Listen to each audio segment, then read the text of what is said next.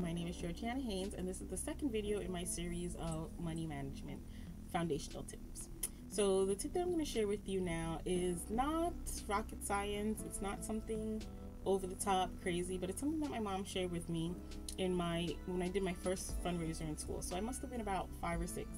And this is a basic rule that she laid out for me to, to keep me away from getting in trouble when it came to managing finances for a business versus finances for myself.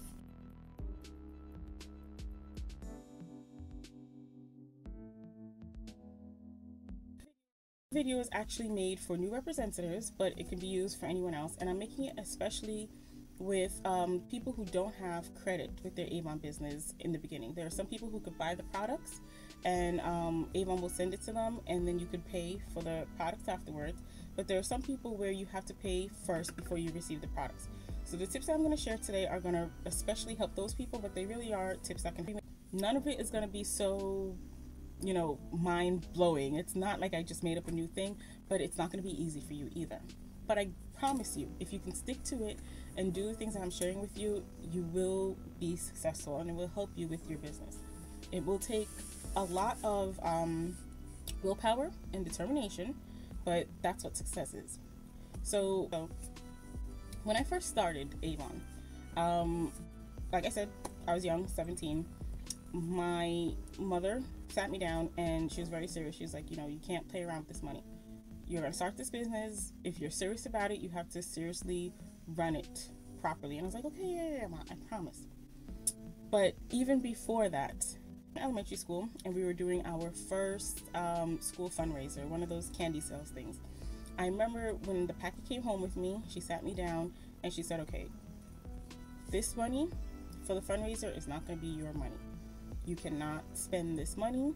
You're a young businesswoman now. You have to be professional and you have to track your money.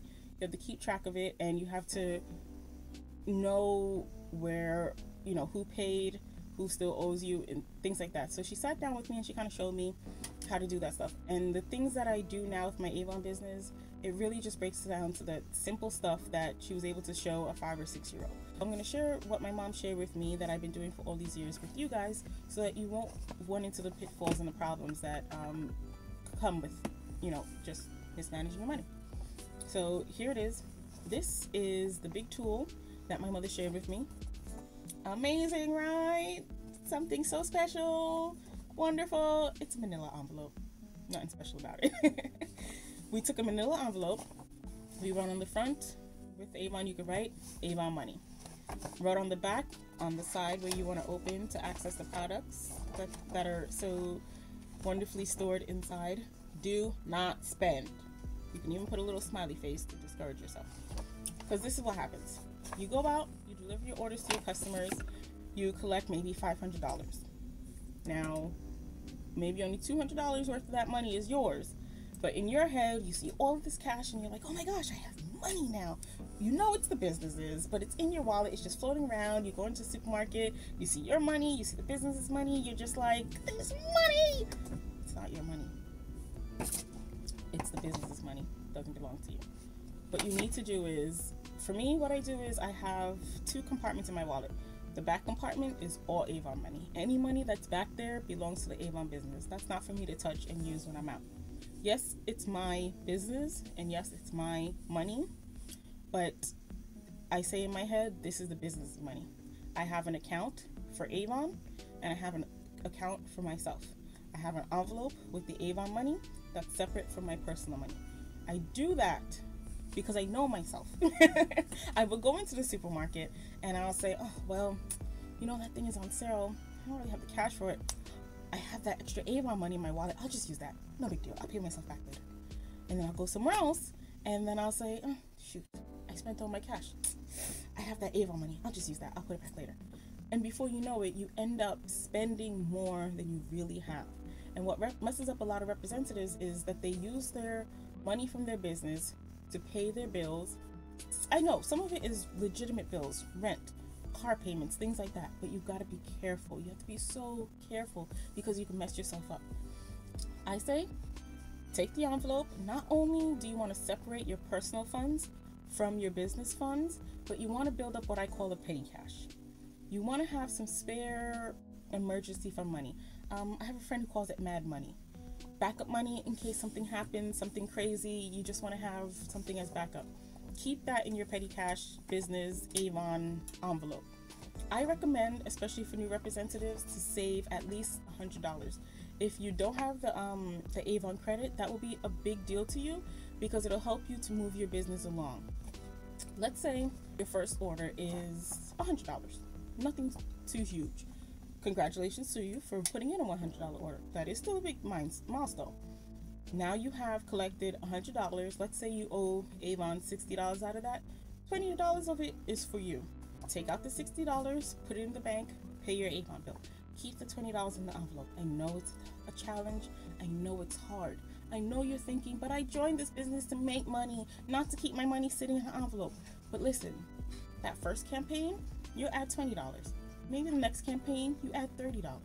Maybe now you add another um, $20 in your fourth campaign, another $20 in your fifth campaign. Sooner or later, you'll work it up to having 100 so maybe for the first month or two, depending on how your sales are, if you're only selling $100 every campaign, it might take you a while. If your first order is $500 and you now made two, okay, great, wonderful. Put $100 in the envelope, put the other $100 in your personal bank account. Pay yourself. Keep in mind, if you buy stuff for yourself from your business, you have to put the money back into your business account. If I order a $20 dress for myself from Avon, I put $20 from my personal earnings back into the Avon envelope because that's what I owe the business. Create a tally. Campaign three. I used to have a notebook. Campaign three. Now I do it on my computer. Campaign three. These are all my customers. This is what they owe. As they pay me, I cross them out or check them off. At the end of that campaign, I can keep a tally of how much I put into the envelope. Then I write on there that I deducted, I write on there that I deducted $60 to pay my bill. The re- remaining amount is $20. Let's say the next campaign, $100 order, but I also bought brochures.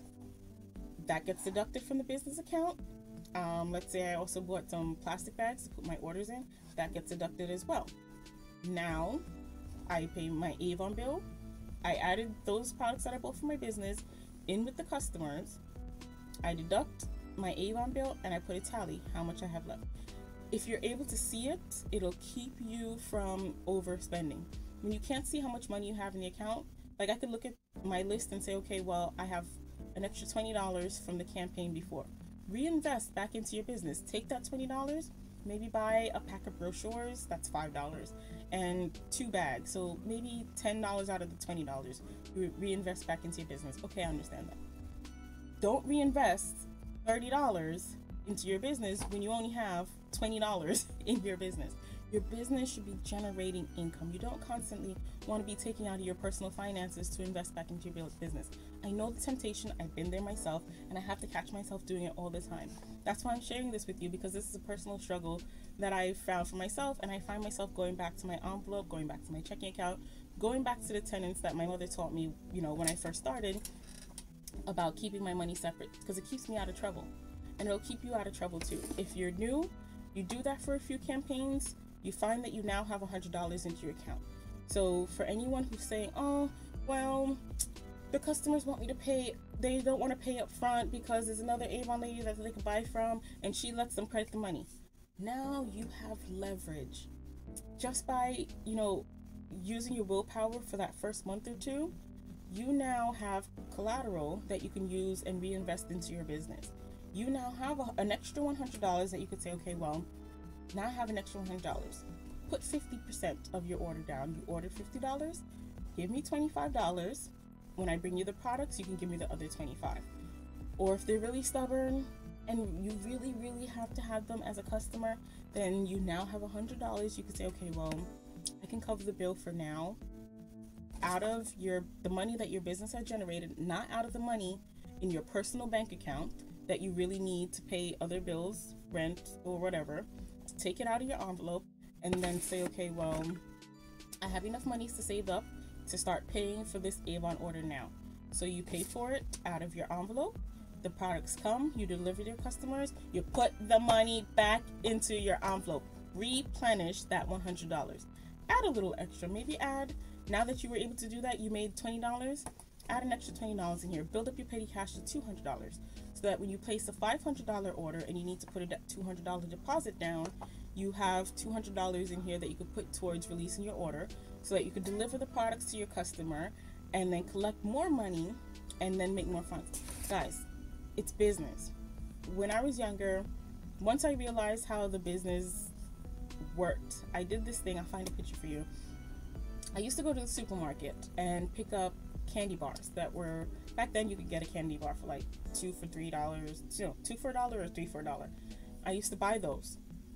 I would take them to school. I had a little purse that i would take all the candy to school in and i would sell them to my friends and teachers or whatever in school. I would buy it at three for a dollar i might sell it for 50 cents.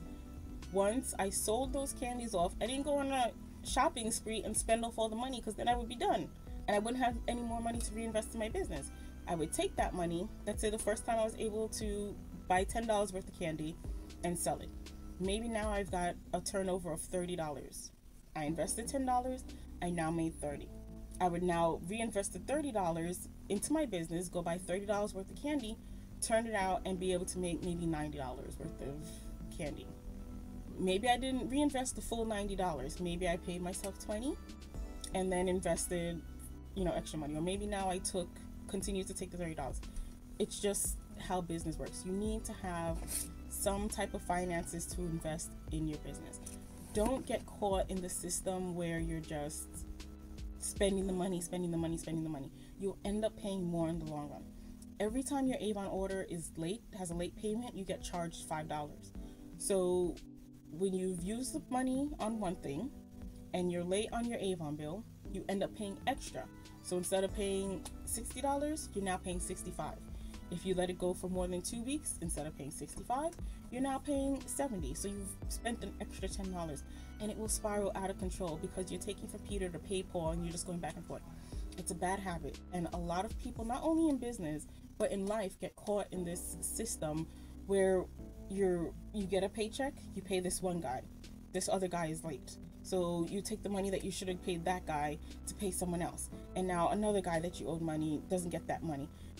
You don't want to live like that. It's a bad habit and it'll just snowball and it gets bigger and bigger because you'll start paying interest and late fees on that money. It's like if you take your credit card, one credit card to pay for another credit card, you're paying double interest on stuff. Don't do it. Don't get just, it would all just go away if you would just get in the habit of not spending more than you have. And I know I live in New York.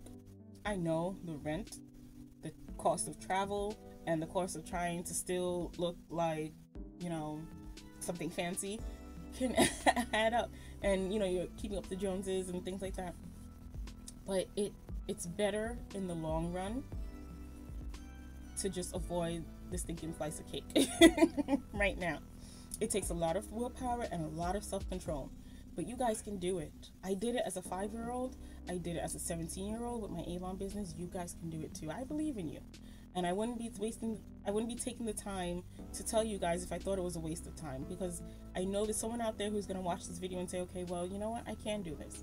This is possible. I can put aside an extra $20 a month for my Avon business. Yeah, I, I just started my Avon business, but I wasn't here last month and I was able to pay the rent then, I could pay the rent now for one more month just to put aside some money if it means that in six months my entire business will be able to pay all of my rent or it can cancel out some of my credit cards. Guys, I have been able to cancel out credit cards, student loans, um, travel expenses, school expenses, fees, tuition, books, supplies. I've been able to cancel out all of these things just by this method of saving. It's not just a business method, it's just it's something that you can apply to your life. So challenge yourself, take the challenge, take the manila envelope challenge and use it to launch a successful business. Use it to reinvest in your business so that you could end up making more money in the long run.